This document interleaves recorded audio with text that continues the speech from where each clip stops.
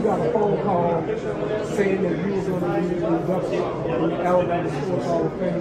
What was going through your mind? Uh, to be honest, I was very surprised, um, but truly grateful for uh, someone recognizing that you know, I can contribute uh, and be a, be a winner.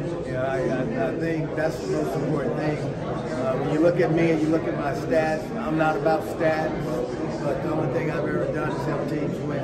Um, this being part of such, I would say, uh, athletic royalty in this building, it's, it's an honor that I'll never forget.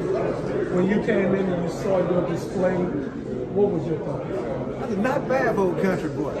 Not bad boy. I got that from my my late uh, my late financial advisor, Mr. Billy Wilcox, and it, it's an honor. I, it's something not for myself more so, but for my family. Uh, you know, there's so many people that have sacrificed and worked extremely hard to give me an opportunity just to to, to succeed and this is uh, no doubt a sign of, of success, and know, I'm grateful. And your boys, you have your boys here with Yeah. you. They get to see Right.